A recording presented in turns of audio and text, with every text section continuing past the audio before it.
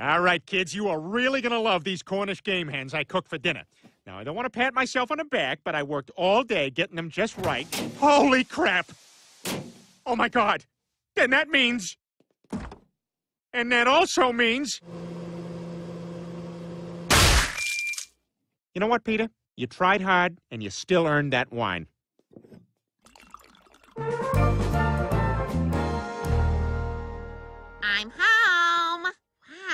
Peter, the house looks amazing. Yeah, well, let's take off our shoes and try to keep it that way, huh? No, really, Peter, it- it seems like you've really taken to being a house husband. Well, it hasn't been easy. Between doing the laundry and vacuuming, I barely had time to put on a nice sweater and clasp a cup of tea with two hands.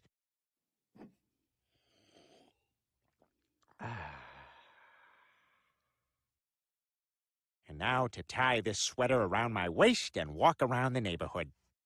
Well, what do you say I reward you for all your hard work? Jeez, Lois, is that all you think about? I'm tired. Come on, Peter, I need this release. I had a long day at work. Oh, work. I suppose work is why you missed Chris's father-son picnic. Peter, you're still Chris's father. Why can't you just listen instead of trying to fix everything?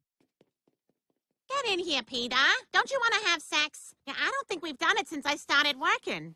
Yeah, I guess you're right.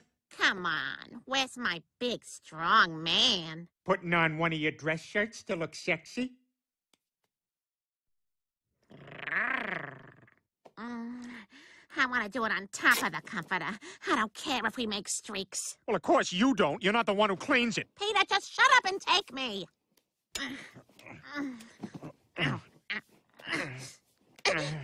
get up! Get up! There's a caterpillar in the bed. Oh, that's, uh, that's me. What? How do I put this delicately?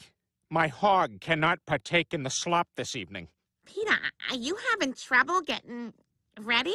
Yes, obviously I'm having trouble. Well, somebody's got to have sex with me. Lois, don't say that. Quagmire will show up like the Roadrunner.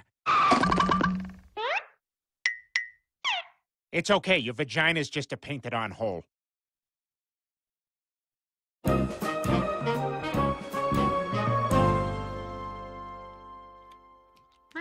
Peter, you're up. That's not what I heard. Hey, Peter, you want a little something to put in that orange juice? What? Why? It's 9 a.m. Well, I figured you'd like to start your day with a stiff one. You can't get a boner. You're a failure as a man and a father. Peter, it's nothing to get upset about. There's treatments available. We'll go see Dr. Hartman. I don't want to do that. I'm embarrassed. This shouldn't embarrass you. The size should embarrass you.